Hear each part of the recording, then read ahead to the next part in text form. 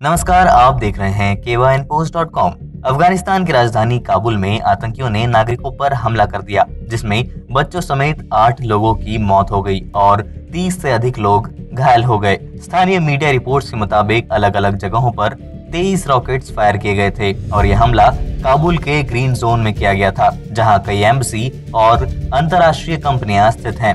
Interior ministry के वक्ता तारिक अरियन ने कहा कि आतंकियों ने एक छोटे ट्रक से रॉकेट दागे और अब यह जाँच की जा रही है कि शहर में ये ट्रक ने बिना किसी के नज़र में आए कैसे एंट्री ली। उन्होंने आगे कहा कि शुरुआती जानकारी के अनुसार अब तक आठ लोगों के मारे जाने और इकतीस लोगों के घायल होने की खबर है और यह आंकड़ा अधिक भी हो सकता है। कुछ स्थानीय लोगों ने रॉकेट दागने और हमले के वीडियो शूट कर सोशल मीडिया पर शेयर किए हैं, जिनमें इमारतों और गाड़ियों की खराब हालत देखी जा सकती है। अफगानी सरकार और तालिबान के बीच शांति वार्ता के बावजूद ऐसे हमले और अधिक बढ़ गए हैं। कुछ समय पहले काबुल यूनिवर्सिटी और काबुल स्थित गुरुद्वारा पर भी अटैक किया गया था, जिसमें कई लोगों की जान चली गई थी।